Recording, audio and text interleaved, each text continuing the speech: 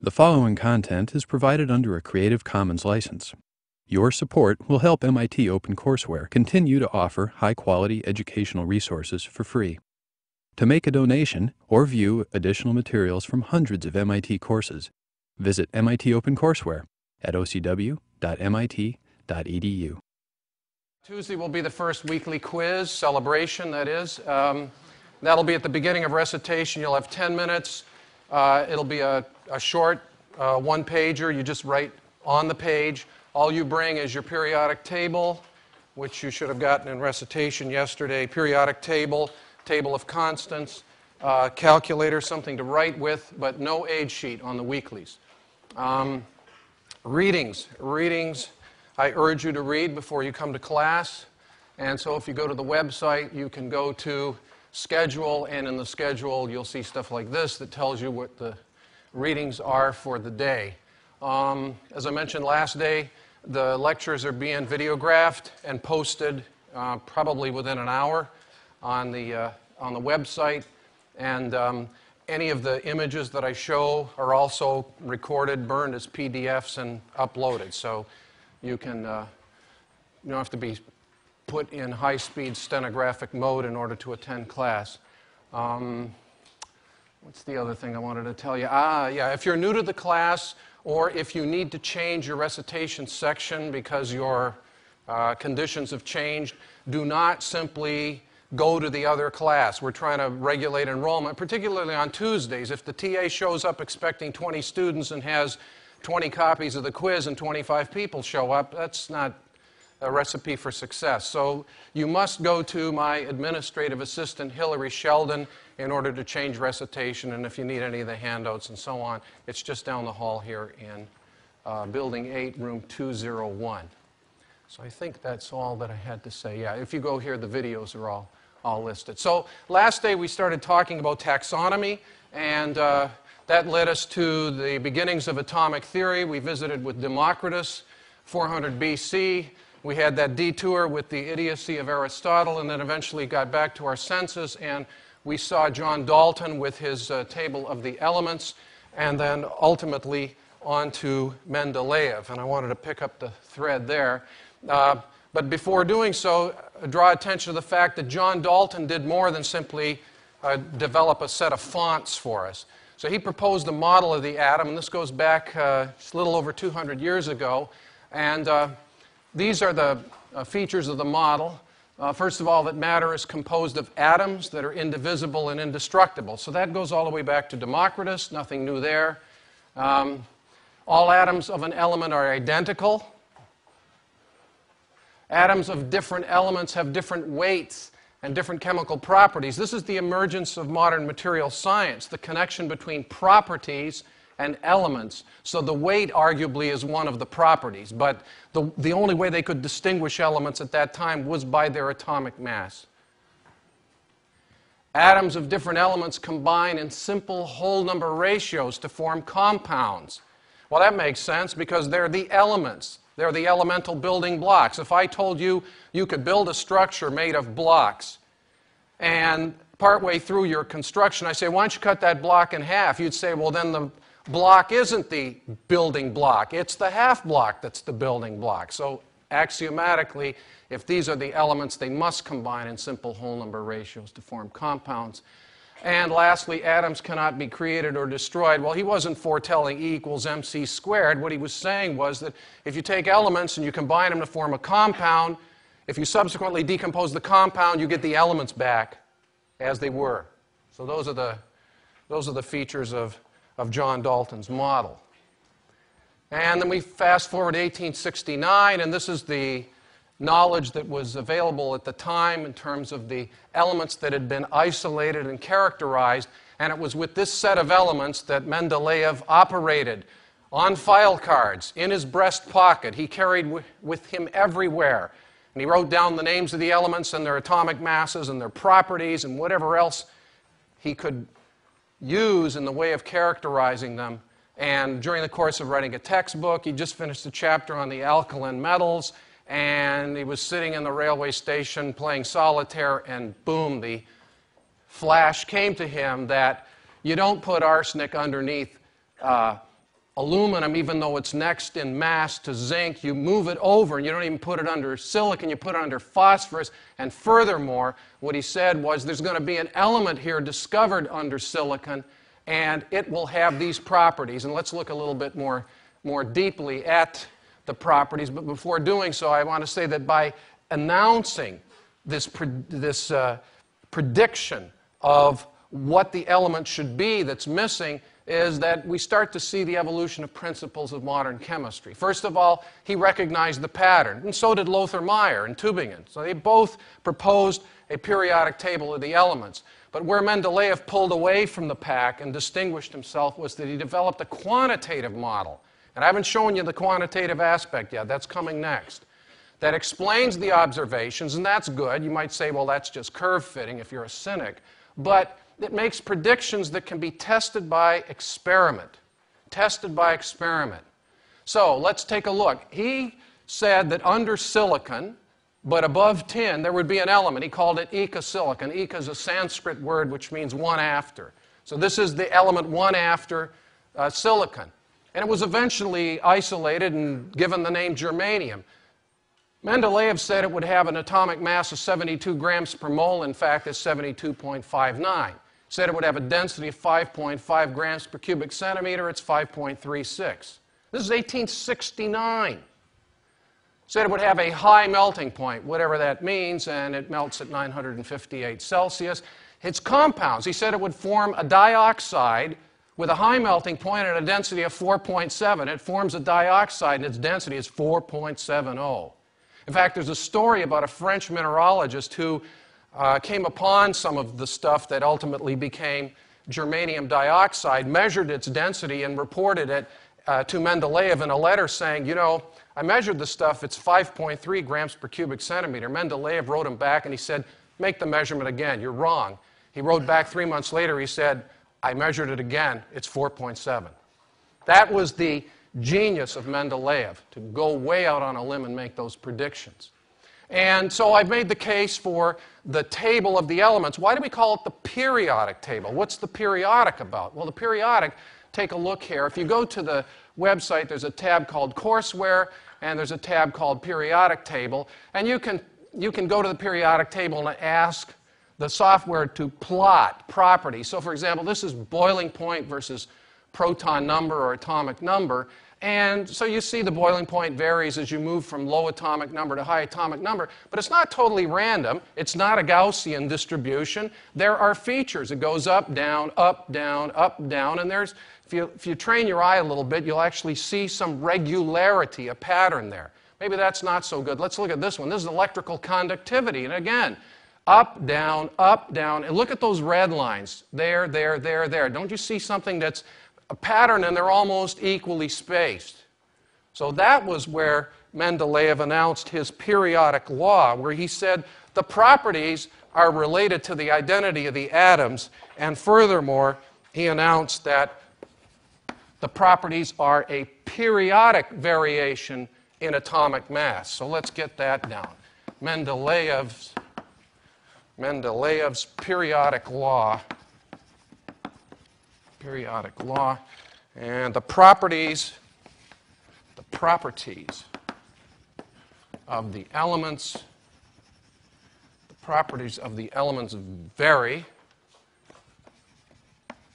periodically, vary periodically with atomic mass. With atomic mass. That was Mendeleev's thing. Okay, so now that we know that, we can go forward.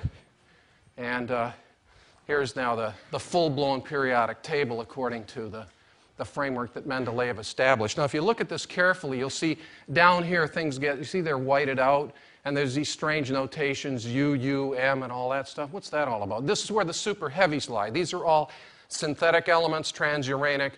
They're made by high energy reactions, so called high energy physics, in what you might call um, accelerators, atom smashers, what have you.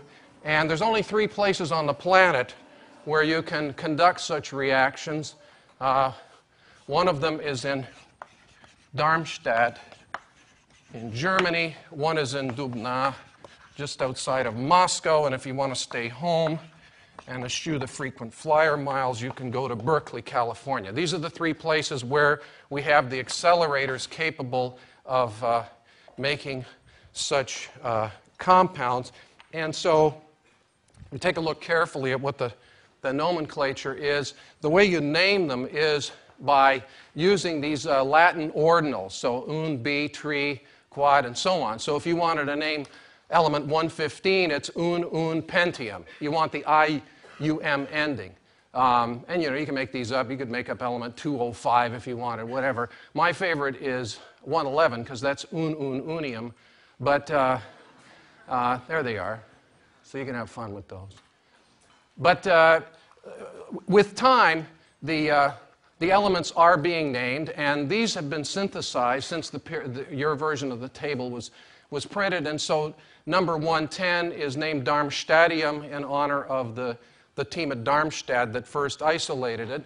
And uh, number 111 was just named uh, two years ago, and uh, uh, the name is Röntgenium after Wilhelm Röntgen, who discovered X rays. Um, now, what is it about discovery? Well, here's, here's an example of, of, uh, of one such reaction that would, would give you an element. So, if we had access to one of these uh, devices, we could take, for example, lead and nickel and accelerate them to very, very high um, energies, and then we could make 110 un, unillium, or now we'll call it uh, Darmstadtium plus neutron. And uh, in doing so, we've uh, generated the, the new element. But we can't just say, uh, we've made the element and publish. We have to, we have to be able to characterize. Remember the reason that we gave um, Cavendish the credit for discovering hydrogen wasn't that he's the first to know that hydrogen exists, but he isolated it and gave it value. So if you look at the rest of the periodic table, you get things like boiling point, melting point, density, electronegativity, first ionization energy. There's a lot of information there. But if you go down here, there's nothing. Look, it's all blanks. Because these things have very, very short lifetimes fractions of a second. But you have to isolate them. There are certain criteria before you can publish. And all of this is regulated by this governing body called the International Union of Pure and Applied Chemistry. So IUPAC is the organization that finally rules on the, uh, the legitimacy of, of any of these. And actually, there have been some retractions in recent years where people published claiming, I think there was a, there was a report out of uh, Berkeley claiming that they'd synthesized 115, and then subsequently that was retracted because it couldn't, couldn't support the, the property measurements. Um, last thing is, uh, uh, if you're interested, want to do some extra reading, uh, this is a fantastic book about Mendeleev. He was the youngest of 14 children, came out of a very poor family in Siberia, and rose to be a giant of his day. Um, he was a polymath. Um, he, uh, among some of the other things he did, he worked for the uh, Ministry of Weights and Measures under the uh, Tsar. And uh, uh, there was, the Tsar was interested in taxation of alcohol.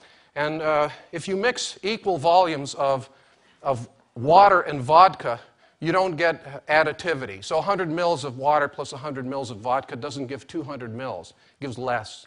And so Mendeleev did a study to determine what the optimum ratio is so that people couldn't uh, misrepresent the amount of alcohol in the beverage and uh, set the standard at 40% alcohol by volume, which is used the world over to this day. He also came to the United States in 1876 to go to Titusville, Pennsylvania, where the first oil well was drilled, and uh, did an exhaustive study of the, what was the American petroleum industry at the time, and then went back to Imperial Russia and did the same survey for the Tsar in Imperial Russia, including a report that recommended how to develop the natural resources of the time. He was really an amazing man, he wrote textbooks and so on. And nobody, nobody in science, I would venture to say, has not heard of the periodic table. Mendeleev died in 1906. The Nobel Prizes were first offered in 1901. So there were five years where he was close to the top for winning the Nobel Prize, but was eked out by somebody else. When you look back at those other Nobel Prizes, they were deserved, but none more so than uh, that for Mendeleev. So, ironically, the, the, the man who gave us seminal knowledge of all chemistry was never awarded the Nobel Prize, and there's probably a lot of politics in there. And as I said last day, here, here's the typical picture of him. This he sort of looks like a street person, disheveled and, and so on. But this was the man that gave us the periodic table. That's him at age 35 when he enunciated the periodic law. So good for him. All right, so now, now um, let's take a look about a little deeper about the properties of the elements. How do we understand the properties of the elements? For the properties of the elements, we're going to have to look inside the atom. And if you did your reading, you undoubtedly came across this table, which at a first pass deconstructs the atom into three simple particles the electron, the proton, and the neutron.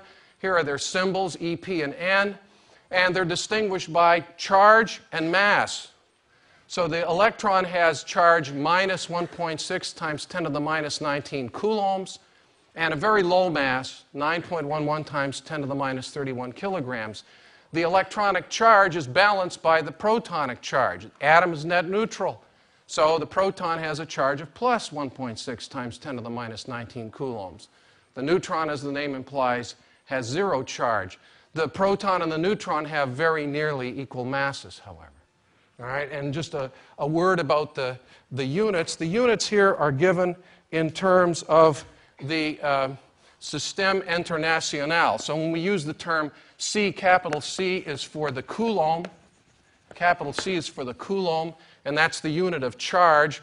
And it has a, a, an uppercase letter because it's named after a scientist, in this case, the French scientist Coulomb, whereas the gram is not named after a scientist, and so it's lowercase. And then we can amplify by powers of three, so if I want a thousand of these, I put a lowercase k here. If I put an uppercase k, I end up with the unit Kelvin, which is the unit of temperature named after Lord Kelvin. And all of this is known as SI units, which is the international system, and it's not because the, the scientists don't know how to develop an abbreviation. This was originally developed when French was the international language of science, so this is known as the Système International and all of these units were defined at that time, and we, the, the term SI sticks, and that's the, that's the uh, uh, legacy. All right, so now if we go to the uh, periodic table and we start looking at the uh, elements, we can look at any entry on the periodic table, and we have the chemical symbol that I'm designating here as uppercase X, chemical symbol. All right, and this was originally John Dalton with the I and the circle around it. And about 30 years later, the Swedish scientist Berzelius suggested that we use neutral units, and so therefore we have the Latin coming in for uh, many of the elements, such as iron, Fe, ferrum, and gold, Au, aurum. In the upper left corner, we have the quantity I'm representing here, A, and A is the mass number a is the mass number, or some people call it the atomic weight, and it is the sum of the masses of all of the constituents. So it's the sum of the mass of the, the proton, so it's the proton number plus the neutron number plus the electron number. But since the electron weighs 1 1800th of what these others weigh, you normally don't consider this. It doesn't matter. So just adding protons plus neutrons uh, gets you to what we call the atomic weight. And then down in the lower left corner, we have Z, and Z is the proton number. Z is the proton number, and as the name implies, it's equal to the number of protons in the nucleus, the number of protons in the nucleus, which then equals the number of electrons outside the nucleus in the neutral atom in the neutral atom. Now, I'm specifying neutral atom um, because it's not necessary for atoms to be neutral, and we'll take a look at those in a, in a moment. Um, a point about redundancy here. We don't really need the proton number and the chemical symbol because the proton number really defines. The proton number is like the social security number. This is the identity number. The identity number of the atom. If we change the proton number, we change its identity. So, for example, I could write sodium, sodium, 23, and 11. I don't need the 11. 11 means it's sodium, or sodium means it's 11, so I could just write this as 23 sodium, so I know it's sodium. That means it's got 11 protons, then 23 minus 11 must be neutrons. Or if I wanted to be a smart aleck, I could write this 23, 11. That's sodium. I don't need to put anything here. But there's no smart alecks here, of course. Uh, so, for example, we could then we could then show this reaction as uh, this is what 208. This is lead 208, and uh, nickel 62 gives us un un. Uh, gives us Darmstadtium with a, a, value of 269, and then neutron is 1. So you can see how these, these reactions can be, can be made to go. Now, atoms don't necessarily have to be uh, net neutral. We can have something that is um, net non zero charge. Net non zero charge on the atom gives it the term ion. Ion is an atom with net non zero charge, and we have two cases. Uh, a case where the atom is net positive. If the atom is net positive, that's the result of electron deficiency. The atom is electron deficient. And we term such an atom a cation. There's two types of ions the cation. And then we have something that is net negative. If it's net negative, it means it's electron rich. That is to say, there are more electrons than protons, and the net negative ion is called the anion. And you can try to figure out ways. I sometimes think the cation has a T, which looks a little bit like a plus sign. Um, the anion uh, has five letters, minus has five letters, and you know they both both end in n, but this has an n which is negative or something. You'll figure something out. Okay. All right. So, yeah. Now we've talked about varying uh, charge at constant uh, proton number. Uh, the other thing we can do is we can look at you can vary you can vary you can vary the neutron number. Since a neutron has no charge, you can vary the neutron number and not harm the identity and still have a neutral atom. So vary neutron number at constant, at constant proton number. And let's see what that is. That gives you something that looks like, like this. So for example, if you, if you look at carbon, uh, the atomic mass is shown here as 12.011. And you'd say, well, gee, if it's got six neutrons and six protons, why isn't that 12 exactly? Well, this is the answer here. You can vary the neutron number at constant proton number. So let's take a look at how that plays out. The way that plays out is as following. Uh, let's see. I'm going to make a little table here. Whoops. All right. Is that good? Yeah. Okay, so let's look at uh, We'll start with carbon 12.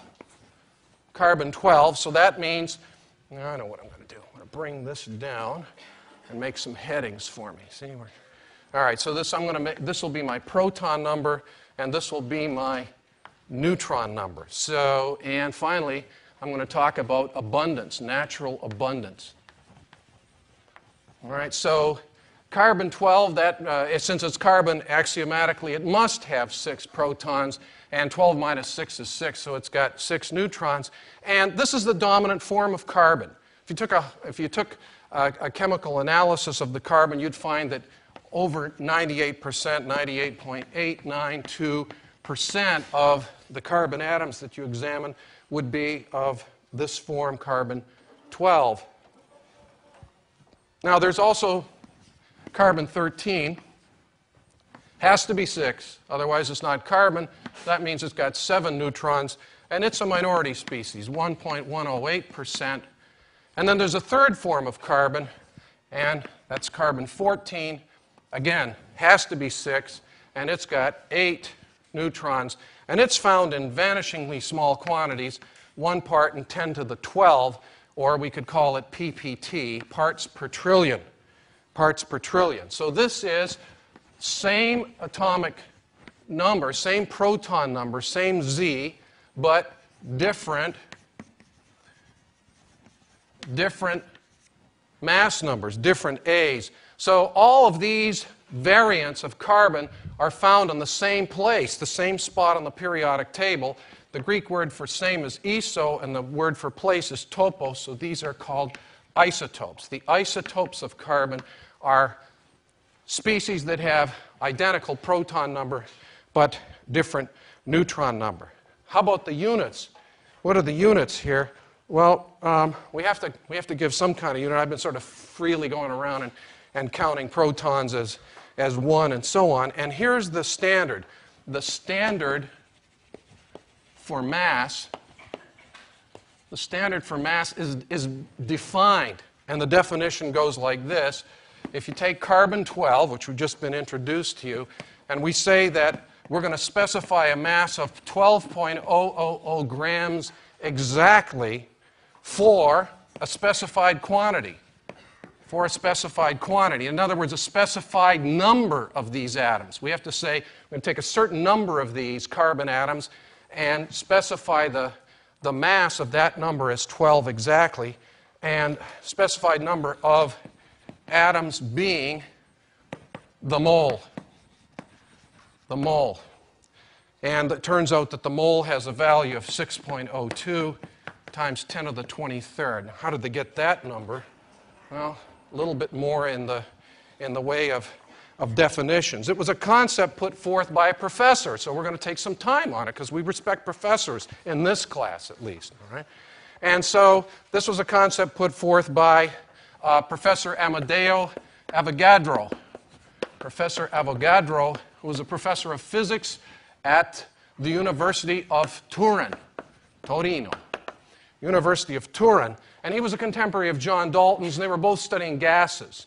And it was Avogadro who taught us that uh, when you keep the pressure constant, equal volumes of different gases contain equal numbers of molecules. So it doesn't matter if you have argon, which is by itself atomic, or you have oxygen, which is diatomic, or you have methane, which is CH4, five atoms making a compound. Equal pressure, equal volume, equal numbers of those species. So that was, that was Avogadro's law. So let's put that down. At constant pressure, at constant pressure, equal volumes of different gases, equal volumes of different gases contain identical numbers of atoms. Equal volumes of different gases contain equal numbers of molecules. And here I'm using the term molecule as a counting unit. So it could be, strictly speaking, an atom, or it could be diatomic, and so on. So that's what it was. And, and out, of, out of honor for Avogadro, we name the number of, of atoms in, in the mole the Avogadro number, which I've written 6.02 times 10 to the 23rd. Now, how do we determine Avogadro's number?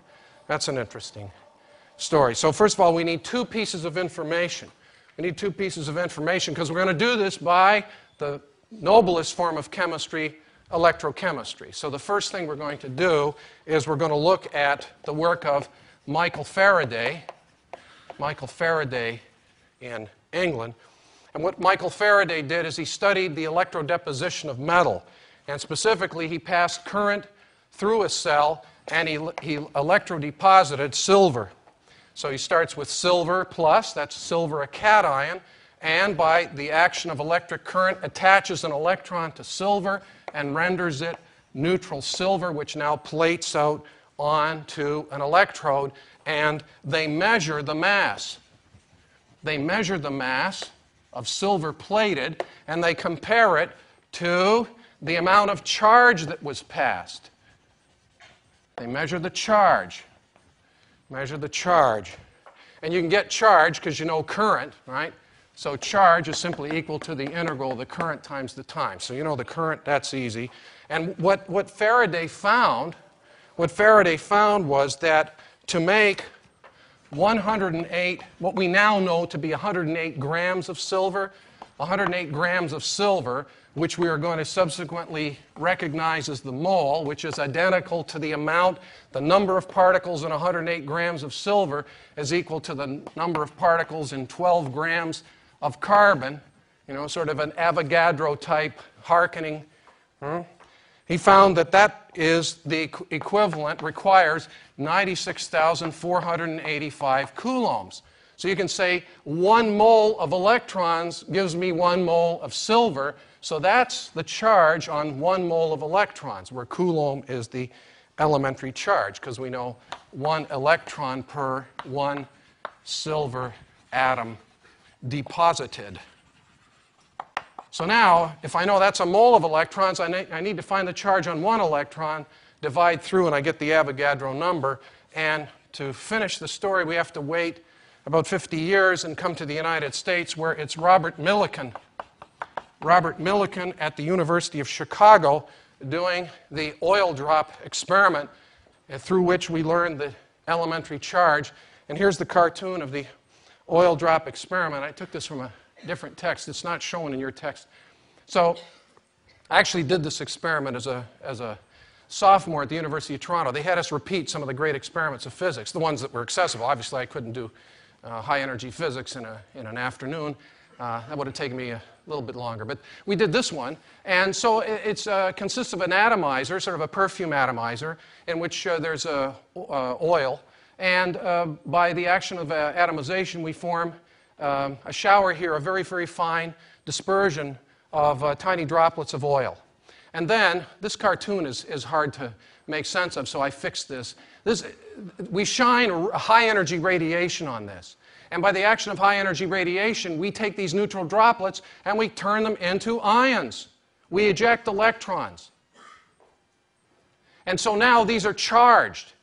And then we charge the plates. So if we have charged, if we have neutral species and they simply come out of the atomizer, they'll settle under gravity.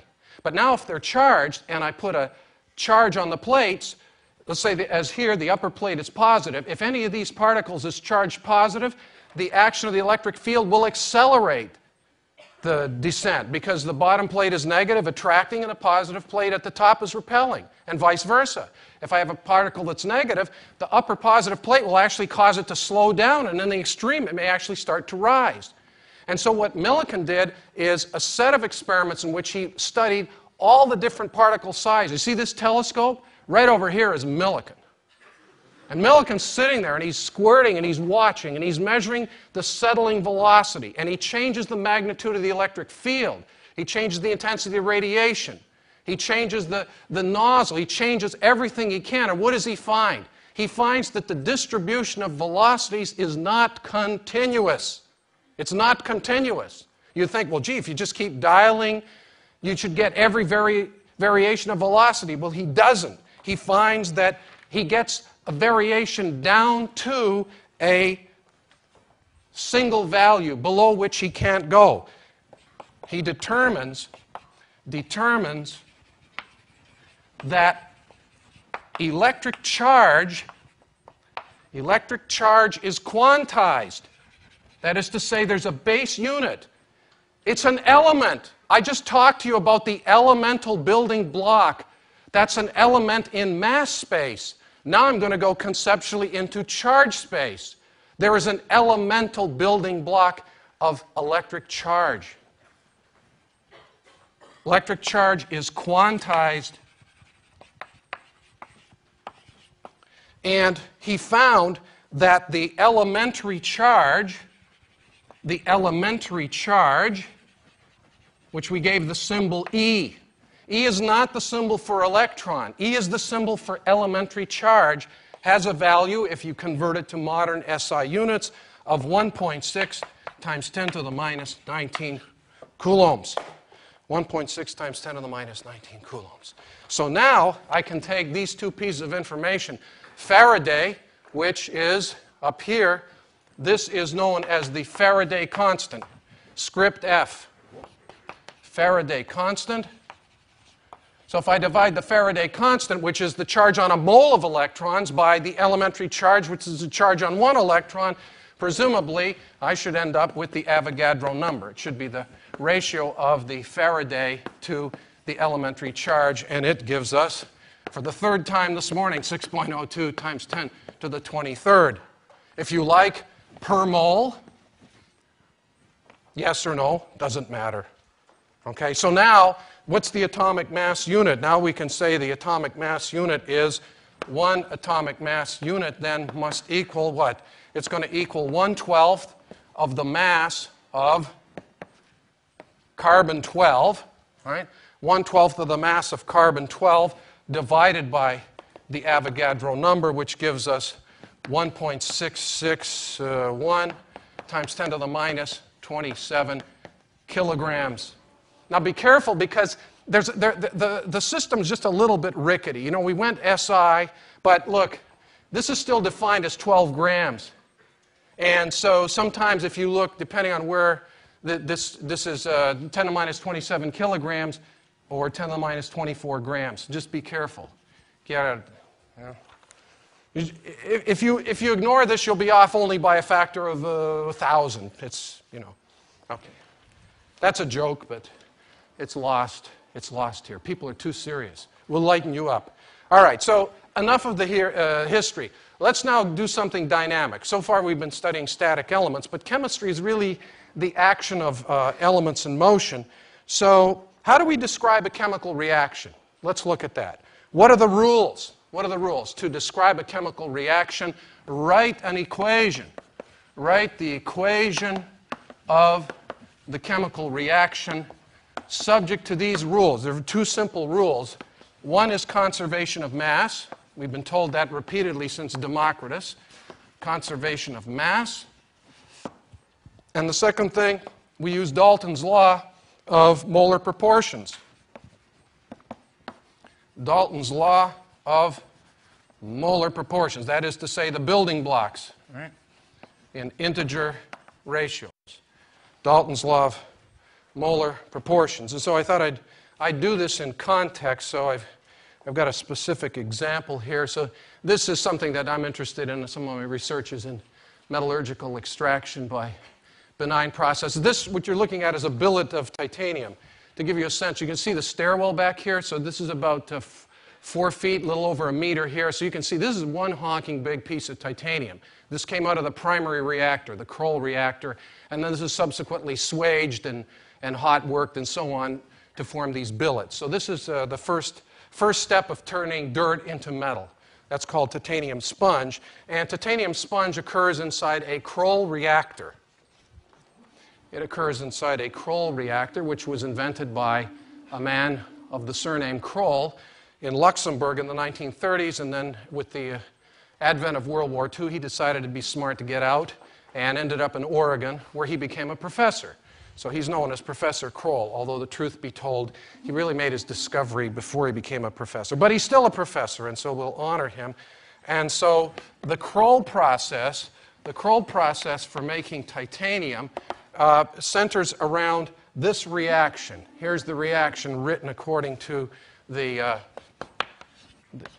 rules above. We take titanium dioxide, which is found in the earth, and by some uh, prior chemistry convert it to titanium tetrachloride.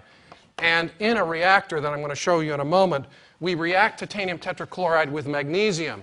Magnesium has a higher affinity for chlorine than does titanium and steals the chlorine from titanium to form magnesium chloride, leaving behind titanium metal.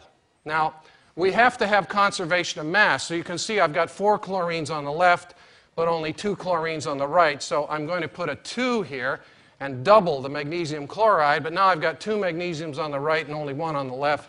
So I'll put a 2 in front of the magnesium, and now we have a balanced equation.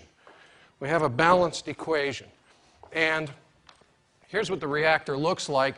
Uh, you can imagine a giant vessel with a pressure seal on the top and a couple of valves big enough to make this. So this is about 15 feet by 30 feet.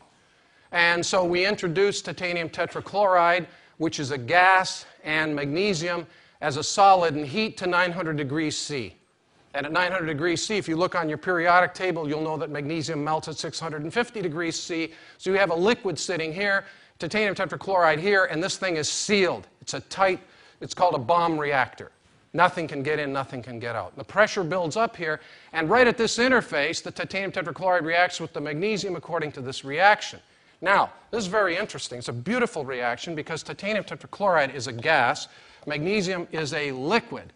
Magnesium chloride is a liquid, but it is of different density and it's insoluble in magnesium, and titanium melts at 1670 and it's a solid. So, what happens over time is this the magnesium chloride that forms pools underneath the magnesium liquid, gets out of the way so that we can continue to keep this interface clean and have the reaction proceed. You don't want a reaction where reactant A reacts with reactant B, makes a product that covers the interface, and now the, the product is in the way of future reaction. So this is very elegant because I don't need any fans, I don't need any no propellers, nothing. By density, the magnesium chloride settles and the titanium settles, and it's sitting here at the bottom. And you can imagine if we do this long enough, this titanium at the bottom will continue to build until it looks like this. As long as you keep feeding tickle and mag. See, I'm talking metallurgical now. Tickle and mag, that's what you make. All right?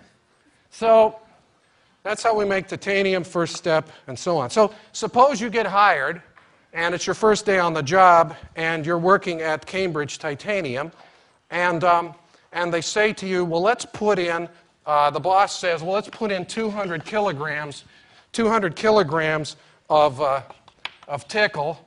We put in 200 kilograms of tickle, and we'll put in 25 kilograms, 25 kilograms of mag. And the question is, what is the yield?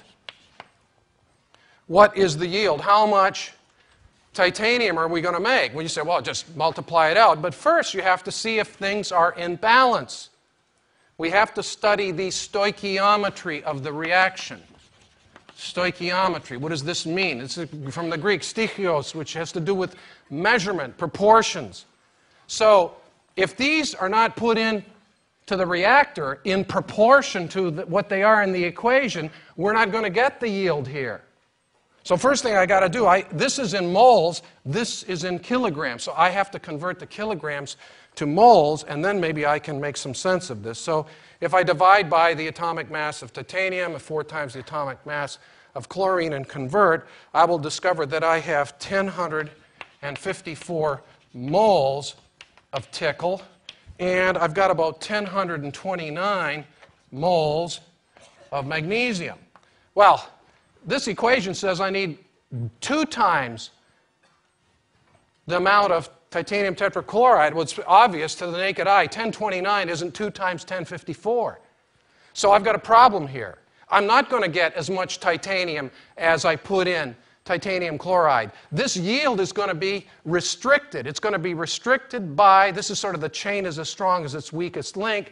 The yield is restricted by the amount of limiting reagent. And in this case, magnesium is, this is less than two times the mole number of titanium chloride. So this means this is the limiting reagent, the limiting reagent. All right, so now if we use that principle, then I'm only going to get as much titanium as I had magnesium, and you can see from the stoichiometry here, if I've got 1029 moles of magnesium, I'm going to have half of that number of titanium. So therefore, the amount of titanium is equal to um, 515 moles of titanium. And you notice I'm not worried, I'm not obsessed about a, significant figures and so on. I mean, it's a metallurgical plant, you know. to half a 1029 is 515. Is it 514.5? if you wish. I don't care. So 515 moles, and then I convert that, which gives me 24.7 kilograms of titanium when I use that amount of magnesium. And if you go to the text, section 2.7, you'll see the nuts and bolts of how to, how to run these reactions. For those of you who had a lot of chemistry in high school, I know this is a review, but I want to bring everybody up to the, up to the same page, so we're starting with this. All right, I think that's a, that's a pretty good place to, to stop with the, with the delivery. But I don't want you moving. You don't move yet because the last five minutes I'm going to still continue to talk, but on a slightly different topic. And so I don't want to hear the binders uh, snapping and so on. You sit there and I can think, we're here, you paid your money, five more minutes. Five more minutes and then out there, out there, then begins the weekend, but not until then. Okay, so a couple of things, A couple of things. First is the music today. I try to link the music thematically. So the music playing today was Polovtsian Dance number 17 from Prince Igor by Borodin, Alexander Borodin. Why were we listening to this music? Well, because I insisted that we listen to it. Well, what about Borodin? Borodin lived in St. Petersburg. He was a friend of Mendeleev. Okay, that's cute. But more importantly, Borodin wrote his music in his leisure time. He had a day job. His day job was professor of chemistry. And he worked at the Medico Surgical Academy in St. Petersburg. He was an exceptional human being. In those days, women were forbidden to attend institutions of higher education. He set up an entire curriculum for women in a night school at the Medical Surgical Academy. He cavorted with artists, and therefore, obviously, his politics were radical, and they were trying to reform the political scene in Tsarist Russia at the time. And um, he was also quite a bon vivant. And uh, he died on his feet dancing at a ball. So that's the way to go. Having a great time. That was Borodin. All right. Um, one other thing before you go. Uh, you, you were very, very dour, so I thought I'd try to put you in a good mood to the extent this is possible with this group. And um, I wanted to share with you some news. Um, there's been a new element discovered. You know, these atom smashers, they're always working. And so um, the discovery of the heaviest element known to science has been reported. The element tentatively named administratium. You know, the, I don't know if IUPAC is going to go for this, but you can suggest names. So they're going to name it administratium, the, the discoverers. Um, it has no protons or electrons, so that means its atomic number is zero. It does have one neutron, 125 assistants to the neutron, 75 neutrons, vice neutrons, and 111 assistants to the vice neutrons. This gives it a mass number of 312. The 312 particles are held together in the nucleus by a force that involves the continuous exchange of meson like particles called memuons. There, there's no electronic mail because there's no electrons, right? There may be neutronic mail, but we don't know yet. Now, you've already learned something today. You know something. Since it has no electrons, what do we know about its chemical reactivity? It's inert.